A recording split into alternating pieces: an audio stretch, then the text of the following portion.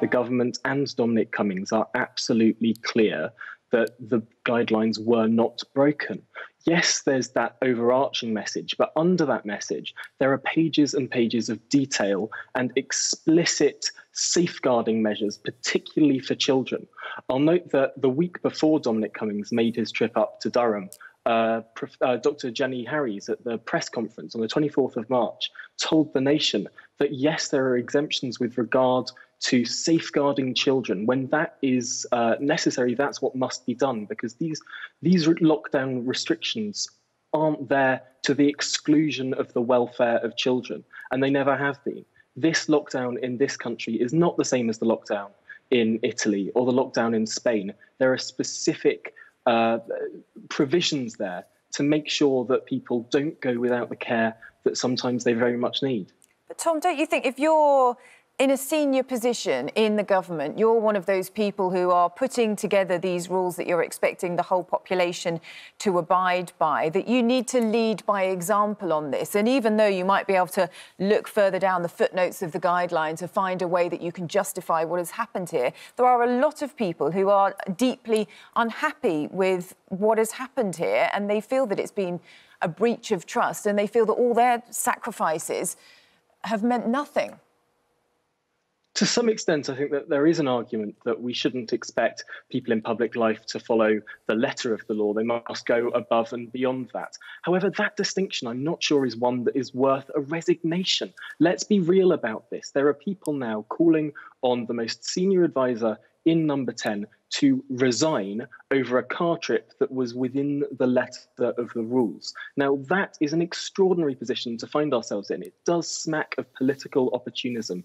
particularly from the Labour Party, who are now calling for Dominic Cummings to resign. I note that all it's of the not, Labour but it's not just the Labour Party. Is it? There's now, the there's now 16, but there's, uh, Tom, there's now 16 Conservative MPs that are calling for him to step down. It's not just the Labour Party. Yes, uh, of, of course, Dominic Cummings. If, if, if you took any of those 16 Conservative MPs at any point over the last year, I think they'd find any excuse to say Dominic Cummings should go. These are people with history with Dominic Cummings. But the point that I wanted to make was Keir Starmer specifically said if he was Prime Minister, he would have let Dominic Cummings go. But he didn't let Stephen Kinnock go, the Labour MP, when he travelled hundreds of miles to see his elderly parents. He didn't let the Welsh health secretary, a Labour health secretary, a Labour politician, go when he went out for a picnic with his family explicitly against the rules. He didn't let the Labour MP Tahir Ali go when Tahir Ali attended a funeral with a hundred people. People across this country have been denied going to funerals, denied seeing their loved ones, and that Labour MP went to that funeral with a hundred people, and Keir Starmer did nothing. The hypocrisy here is outrageous. There's another Labour MP up in Durham who went to a birthday party, and there was no big furore. There was no big media outcry. And I think that people will not like this kind of hypocrisy from Keir Starmer and from a lot well, of the media although... that when Labour, politi- when Labour politicians explicitly break the rules, that's fine.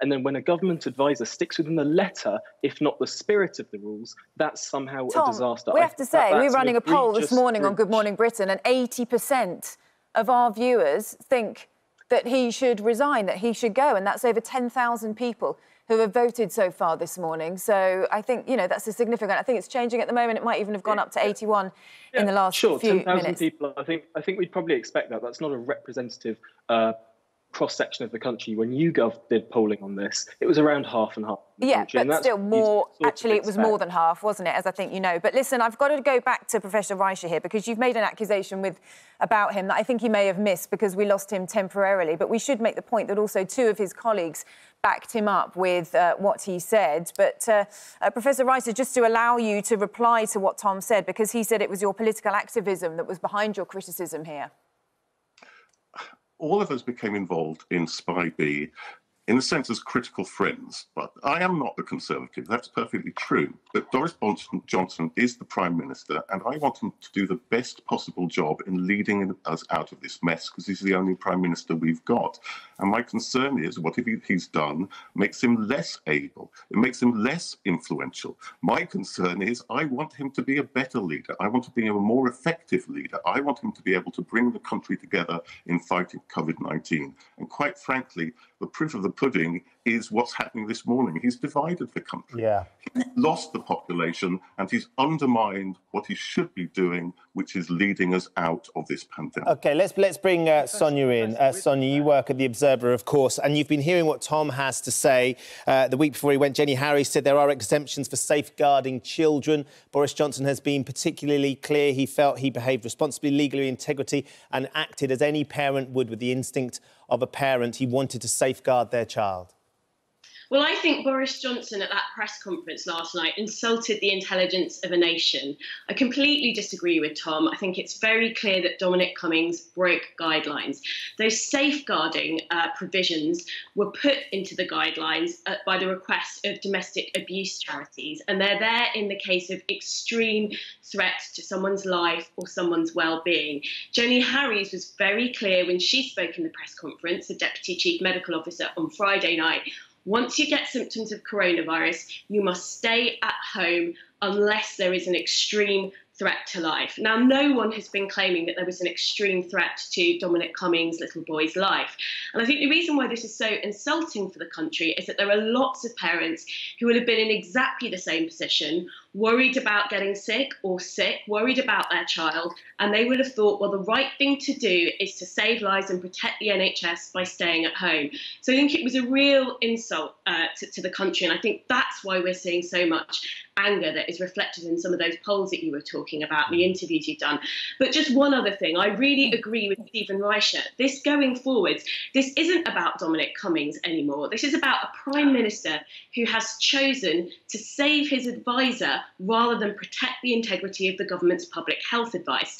That does put lives at risk because we are now about to go into a phase where the government is rolling out a track and trace strategy where if you if they think you've come into contact with somebody with coronavirus, you will get a call and you will be asked to isolate for 14 days. Not drive across the country 260 miles to Durham just in case you need childcare that it turns out don't will be asked to stay at home for 14 days. And I think now members of the public, we're already starting to see some of this, will be saying, well, the, the, Prime Minister's top advisor broke the rules, and we had the Prime Minister come out and defend him and say it's what any decent father would have done.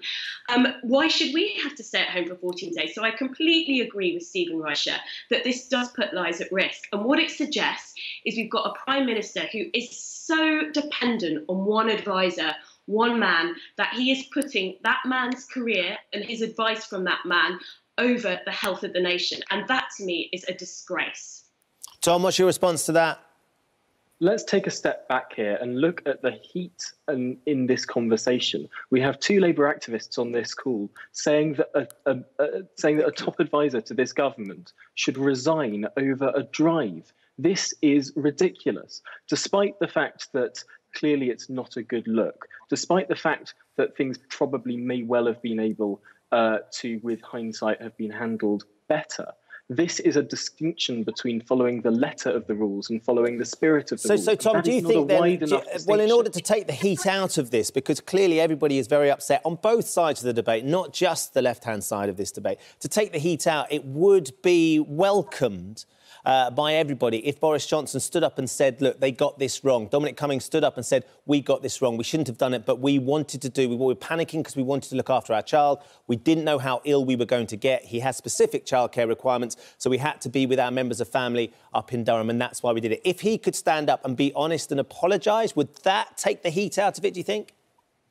I'm afraid that that would be giving the media of this country far too much credit. As soon as they spot a drop of blood, they're like circling sharks and would pounce. This is a campaign to scalp a member of the government, and we're not going to see the media relenting uh, with, with anything. They're given a little bit of red meat and, and they'll jump. Ultimately, the thing is, Dominic Cummings didn't know how sick his family would get. His child has specific childcare needs. It's not like he was going out uh, for extramarital affairs. It's not like he was going out to birthday parties or to go and see or to go to, to family funerals, as we've seen with other cases, particularly as we've seen with Labour MPs.